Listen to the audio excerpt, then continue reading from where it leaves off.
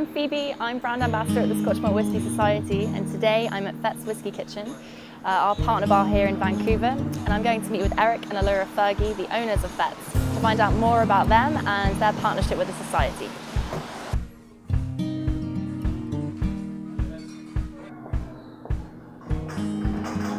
Hello.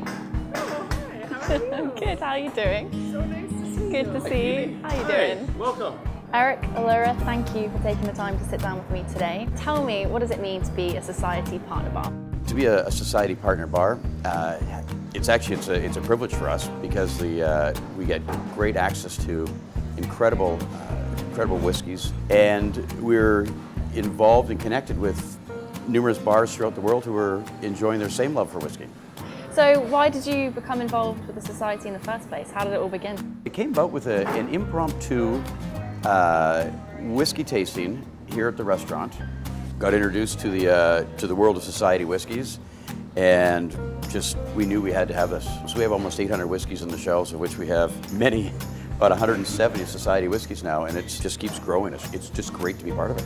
Can you um, just explain the society's flavour profiling approach and just tell us what you've what you've done with it here at Fets and how you've brought it on board?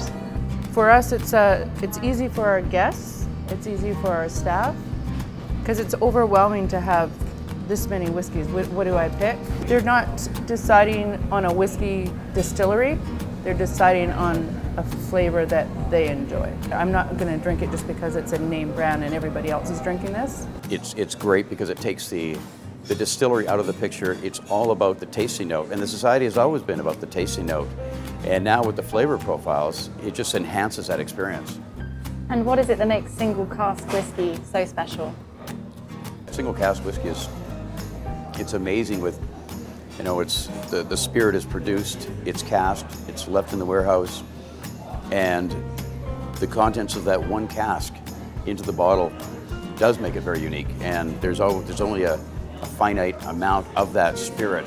It's just is what it is, which is just great. Thank you so much for taking the time to explain that. Um, it's, it's great to be here and you are you're doing a fantastic job. Thank you. Yes. Well, thanks. And Cheers.